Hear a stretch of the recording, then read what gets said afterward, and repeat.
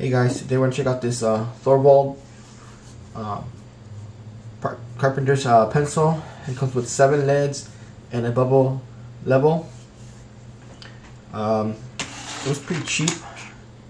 I got it for about sixteen dollars, and I believe this is really worth it if you're working on um, uh, pieces of wood.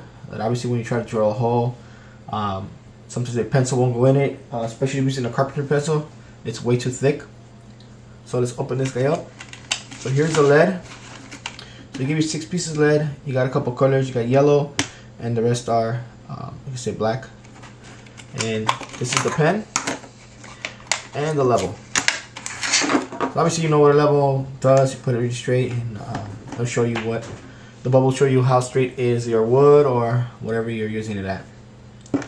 Put that away. So these are, like I said, these are leads, and this is the actual uh, pencil. So what you do is you push the top, and here comes the lead. It's a 2.8 millimeter lead, and it's pretty thick right here. So what you do is you push this guy in, and you pull on it, and you get this guy right here.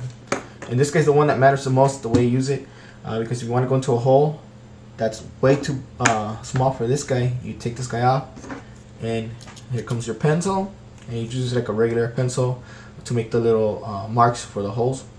So it's it's a really nice tool. It wasn't like I said, it wasn't that expensive. Here's the logo. Uh, so overall, I really like this guy. Uh, they are on Amazon right now. Uh, so if you got a chance to look at them up, uh, like I said, it's a really good uh, pencil to have. Alright, thank you guys for watching. Like, share, and subscribe, and I'll see you guys in the next video. Thank you.